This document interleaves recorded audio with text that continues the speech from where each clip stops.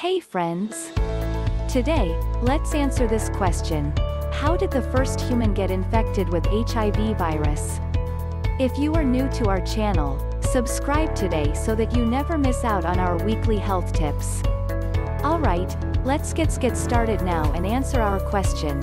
How did the first human get infected with HIV virus? Okay, we can never be sure, but the most likely route would have been a mutation in the simian immunodeficiency virus that made it possible to replicate in humans. The SIV is fairly common in monkeys in Central and West Africa and they are a common source of bush meat. While a monkey was being butchered, the butcher had an open wound and blood from the infected monkey came in contact with the wound. The mutant SIV gained a foothold in the cells of the immune system of the butcher, something that has a fairly high likelihood of happening because of the similarities in the immune cells of primates. SIV is similar enough to the current types of HIV to establish this kind of link.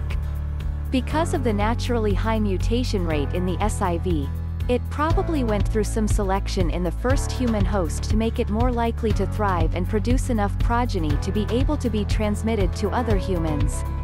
The primary method of spreading in humans is from sexual contact i.e. secretions such as seminal fluid, rectal secretions and vaginal fluids have enough exchange with blood so that the virus could be spread from one individual to another.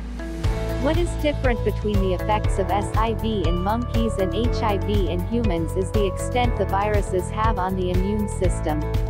SIV is usually a low-grade chronic infection which is what viruses tend to do theoretically. They evolve into a state of chronic tolerance between them and the host.